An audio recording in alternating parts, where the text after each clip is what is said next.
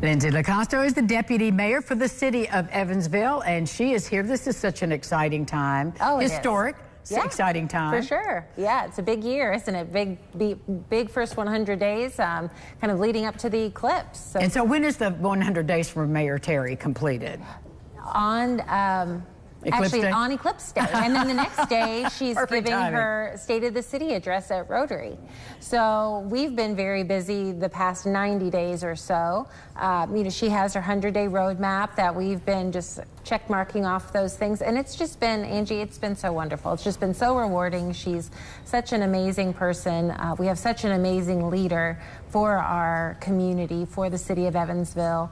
Uh, I'm just so excited to, to work alongside her and the team that she's uh, has in place, which has been been fantastic. I, I, think that so often we don't, as the public, know about all of those those slots that have to be filled. Right. I mean, it's not like automatic. Right, it's right. got to be done, and it's got to be done thoughtfully. It does, it does. And Mayor Terry, she's done a really fantastic job of setting out a wide net, uh, of bringing in the right people for her team. I think she's done it in a way, if you ask people in the community, that hasn't been the traditional uh, way that maybe people would have gone about it, but she's really looking for the best candidates for each role within those different departments. And there's so many departments within the city of Evansville.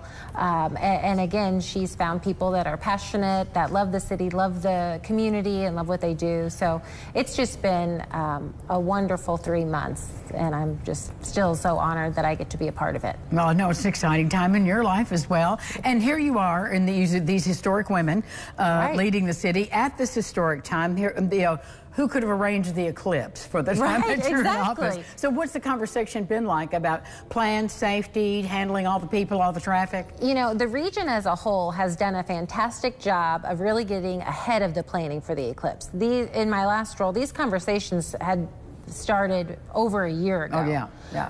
Um, so this is something that has been uh, in the making for a while. But the meetings that we've been a part of, a lot of safety meetings, meeting with police department, fire department, uh, EMA, just making sure that the answers to the what ifs are in place.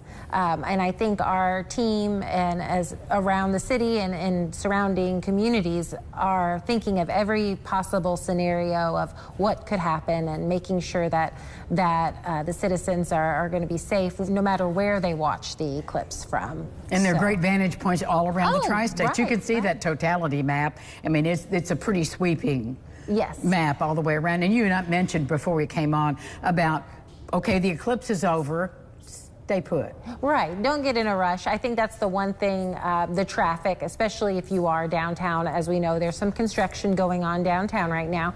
Uh, Riverside will be closed for the event uh, downtown. So just enjoy the food trucks, enjoy the event, enjoy the afternoon with friends, family, coworkers, whoever you may be celebrating with, and just enjoy the, the community and all of the things that our uh, community has to offer while you have that afternoon after the eclipse. Can people still get the glasses? Oh, yes, there are glasses. Um, I know uh, Adam Trinkle at uh, downtown Evansville has glasses for sale. There's a lot of places. The library has glasses as well. So I don't think there is, as of today, a shortage of glasses out there. You just, yep. Get those safety ones, though. Yes, You've got you to have the to, right and ones. you cannot use. I've heard, I've read, I've been told you cannot use from 2017. Those are. It's basically like old sunscreen. You know, it, it- Right. they expire. Right. So Get make new sure ones. you get new glasses. Yes. Protect your eyes. Yes. Thank you, Lindsay. Yeah, you. Thank you very much. We'll be back with more local lifestyles right after this. Stay with us.